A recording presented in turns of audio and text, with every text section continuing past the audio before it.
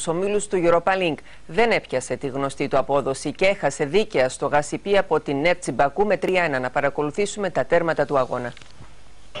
Προσπαθούν τώρα οι παίκτες της Νεύτσι.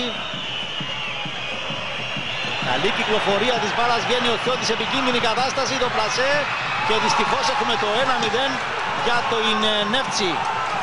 Και για άλλη μια φορά πάνε οι παίκτες της Νεύτσι να βγουν στην αντεπίδεση θέλοντας να καταλευτούν ε, και να που φαίνεται να προκύπτει στην άμυνα.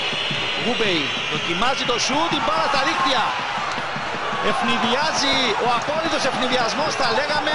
Πλησιάζει την περιοχή. Πάσα για τον ε, Μαντούκα. Παλιά στην περιοχή. Να η ευκαιρία Αλονεύτης. Δεν θα γίνει τον γκολ, θα γίνει τώρα στον Πενασούρ. Ό,τι χρειαζόταν το Αποέλ, έστω και σε ένα χρονικό σημείο που δεν είχε καλή παρουσία στο παιχνίδι. Πίντο περιμένει ο Σέρτσο. Νέο λάθος από τον Πίντο.